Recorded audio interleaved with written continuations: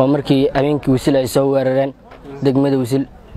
Kabacdii waxaan go'aansaday inaan cadowga xunkaa ka xoreeyo dalkayga iyo dadkayga iyo diinteyda iyo markii uu ka bilowday gobollada dhexe ee dalka soomaaliya gulufka colaadeed ee ka dhanka ah khawaarijta al-shabaab waxaa sii xoogeysanayay dhalinyarada qeybaha kala duwan ee bulshada ku biiraysa dagaalka ka dhanka ah kooxaha argagixisada ah.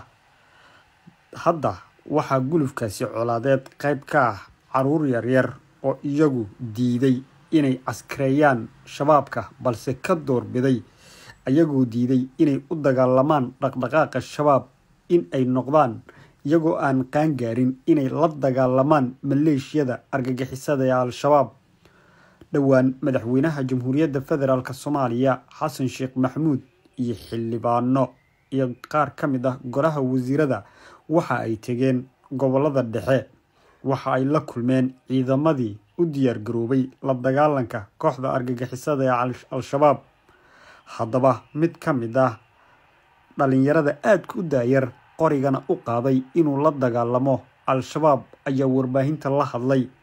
Waxa uu tilmaamay qoriga uu sito ee ah a k forty seven inuu u qaaday in guud ahaan gobollada dhexe gaar ahaan nawaaxiga xarar dheere uu ka xoreeyo maleeshiyada argagixisada ee al-shabaab. Waxa uuna tilmaamay inuu qoriga sidi doono ilaa qadarta ay ka haleesho ama guud ahaanba shabaab laga waayo gobollada dhexe ee dalka soomaaliya. Tani waxay calaamad iyo tusaale u tahay in shabaab uu ku jabay islamarkaana dadka ay ka soo horjeesteen waa kan mid ka mid ah dhalinyarada curdunka ee hadda soo baxaysa balse naftiisa iyo intuba ka doorbiday in dalka uu xoreeyo isagoona tilmaamaya inuu xilligan diyaar u yahay la dagaalanka khawaarijta al-shabaab.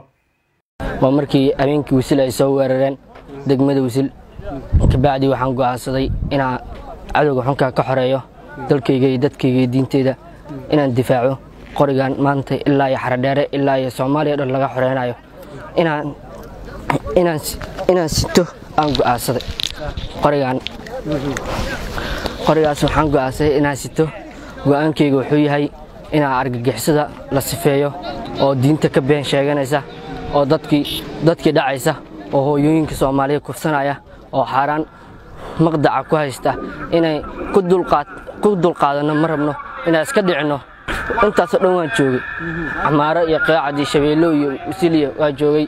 Marka waan go'aansaday inaan cadowgaas xunkaa iska sifeeyo tan iyo markii uu ka bilowday gobollada dhexe ee dalka soomaaliya gulufka colaadeed ee ka dhanka ah khawaarijta al-shabaab waxaa sii xoogeysanayay dhalinyarada qeybaha kala duwan ee bulshada ku biiraysa dagaalka ka dhanka ah kooxaha argagixisada ah.